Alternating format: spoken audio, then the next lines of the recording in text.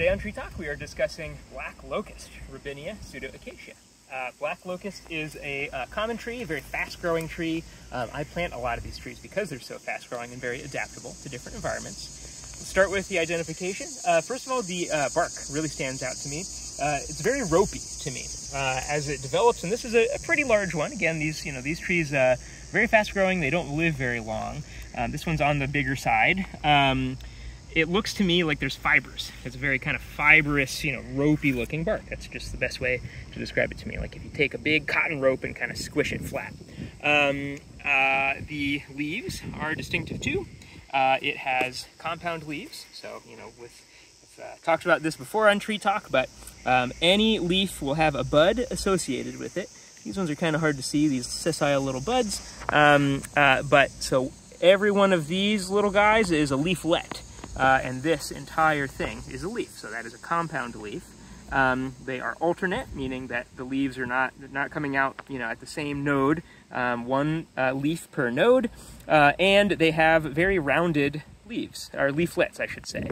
Um, whereas some of our other compound leaves uh, have serrated leaf margins. Um, they're they're maybe longer. Uh, they're maybe have more narrow leaflets. So this really does stand out amongst the all the trees that do have uh, compound leaves like this. Um, additionally, uh, so it has these really beautiful, big, fragrant flowers. I actually, in the springtime, uh, probably mid-May or so is when it's usually blooming, I will smell this tree before I see it, actually. Uh, uh, those develop into these uh, beans, bean pods. So uh, the seeds, this is a legume. Um, there we go. So it's in Fabaceae, and it is a nitrogen fixer like other legumes. So uh, it has these uh, these pods that are kind of hard to uh, mix up. It kind of looks to me like a red bud. A red bud has a similar uh, seed pod, but red bud does not have leaves that look anything like this. Um, additionally, something that really stands out couldn't come uh, couldn't find a good specimen here on these more mature trees, but um, the thorns on black locust are very distinctive um, they are paired. They come kind of ranking along the side. So sure I get a uh, find a picture of, uh, of, that that I have somewhere in the archives uh, to show you what I'm talking about there. They have uh, very stout thorns, very triangular stout thorns that are kind of ranked. You know, they're sort of stacked along the side of the branch.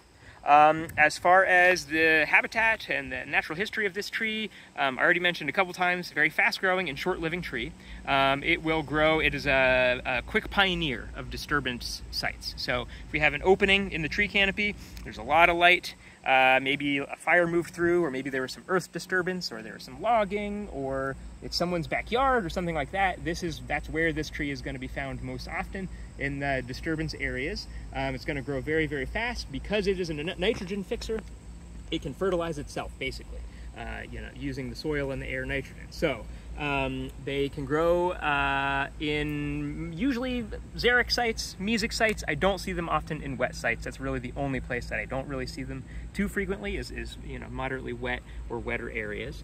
Um, as far as benefits of this tree, uh, I mentioned those big flowers. They are very prized by insects. Really important nectar source for insects uh, at that point in the summer, or in the growing season, I should say. It's kind of late spring uh, because most of our herbaceous plants have not bloomed yet. So all of our pollinators are really relying on woody species like black locust and, and other trees and shrubs uh, for those nectar resources at that time of the year. Um, also great uh, birds will eat these seeds, um, and uh, of course everything will eat, uh, almost everything will eat the insects that are foraging on the leaf tissue and on those flowers. Um, as far as human uses, uh, a lot of people don't like this tree because it's very weedy. Because it's adapted to disturbance areas and because it's a nitrogen fixer and it grows fast and it spreads really fast, people don't like it. People consider it a weed. Some people consider it invasive. Well, it is native to the eastern U.S. Um, and I have not seen it to pose a problem to other trees regenerating underneath it. Um, it won't shade them out. It has uh, the shade is not very dense on a black locust. Um, so it's actually a little bit of a, a way to to get good for a succession. Um, if, say, an acorn was planted by a squirrel right underneath this tree, um, eh, the oak would probably, you know, it wouldn't grow as fast as it would in the full sun, but it would be sheltered by this tree, uh, especially if there was a bunch of little uh, locust saplings uh, with those thorns on them, maybe sheltering it a little bit from deer. The oak would be able to grow up underneath it. Um, and then when these trees kind of peter out, they usually only live about 75 years or so. Um, now we have a lot of light uh, for those other species uh, coming up underneath it. Um, so I don't think it's a bad thing to have. Uh, uh you know, again, it's weedy, it's aggressively uh, spreading, um, but that's a good thing when it's a native plant with a lot of benefits. Uh, the wood is actually very useful. It's a super rot-resistant wood. Um, and so fence posts are made out of this tree, and because it grows so fast, you can actually make a have a tree that is the perfect size for a fence post pretty quickly. Um, within, you know, I don't know, 10, 15 years or so, you have a tree big enough to cut down uh, and use for a couple different fence posts. And so um, uh, that is a, a, common use of it.